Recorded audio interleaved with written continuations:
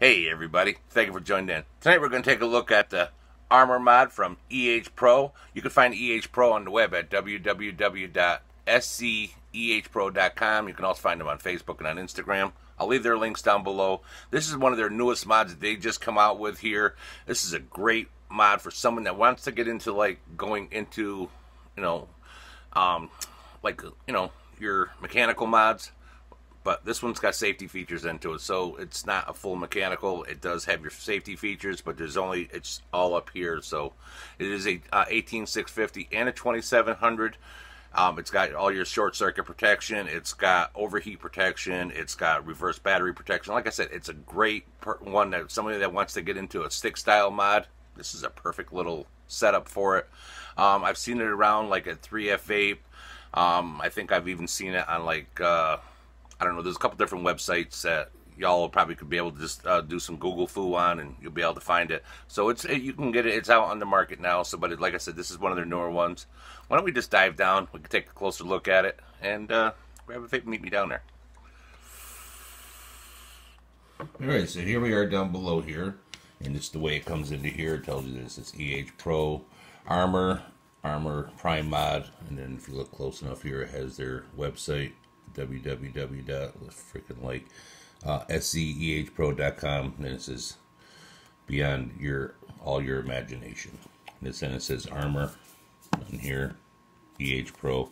On the back has your different cautions. The device can be used with e-liquid containing nicotine, which is highly addictive to the substance. Then it goes on, tells you about the lithium ion batteries are required to operate the device. Um, so on, and then it has your UPC tells you that it's the Armor Pride mod, Prime mod, and this one is in the black. And then there's your uh, QR code and security code, so you can verify that this is an authentic product from EH Pro.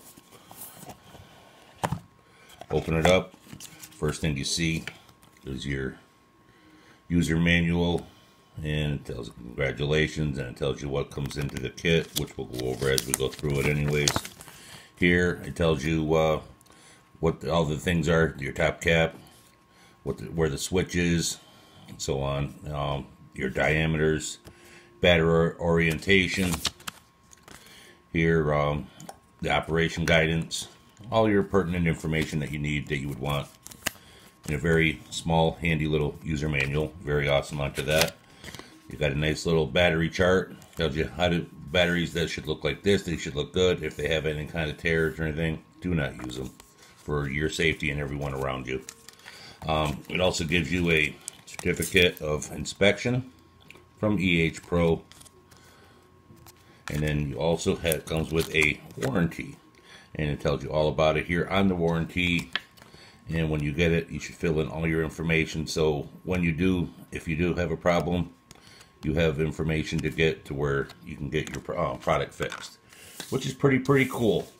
Um, like I had mentioned upstairs, this is an 18650 and a 2700. So they do throw this little adapter in. We'll go through it when we get to that point. And then here's the star of the show.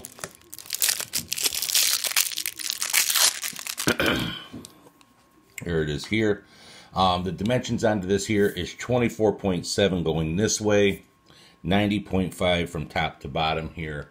Um, this is made of brass and black speckled paint onto it, but there is brass all the way through. You hear how nice those threads sound? Very, very nice. And you got your venting at the bottom, and then if you look right there, top there, it's got your negative sign, because that's how they want your negative to go down to that. And then here's your power, which we'll go over. It's got a spring-loaded 510. Very, very nice. So let's throw a battery in. If you just wanted to run an 18650, you would slide that over that. Slide it in.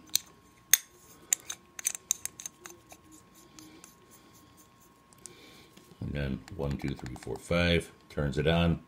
And when you are using it, it'll light up. When you see green, it's actually running at 70% or higher. If you happen to see it go down to a yellow light, it's 30 to 70%. And if you see a red light, it's 30% or lower. This does have short circuit uh, protected, it is overheat protected, reverse battery protected, 10 second cutoff, and you can go from resistant range 0.2 ohms all the way up to 1.2 ohms. Very, very cool. And then I'll show you for the 2700. Take that out, take that out, and we've got a nice Efest 2700 slider inner. And again, same thing, one, two, three, four, five. I'll shut that off a minute. Uh, we're going to throw this RDA onto it here. This is their Panther, which I got a review coming up for that. They sent over the Panther RDA, and they also sent me over the Billow X. So you got a couple more reviews that are going to be coming up uh, within the next few days. So be looking out for that. So let's just throw this onto here. And this looks rather nice onto there. Um, only thing is you got the brass here, which almost feels like it's, I think there's a coating over it because you see the speckles onto here. But the Panther is done in almost in like a gunmetal instead of the brass. I would like to have seen that. But I know they have different uh, colors and whatnot onto the top cap itself also. And on the back there, you got that kind of like transformer dude. It's not really transformer. It's a little bit more uh, rigid looking. So uh, I don't really think it's going after anything. So that's pretty cool onto that. I like that overall. And again, turn it on. One, two, three, four, five. One, two, three, four, five. It would help if I pressed it. There you go. And uh, so why don't we take this up top and uh, and then we'll take a vape onto it and I'll see you up there.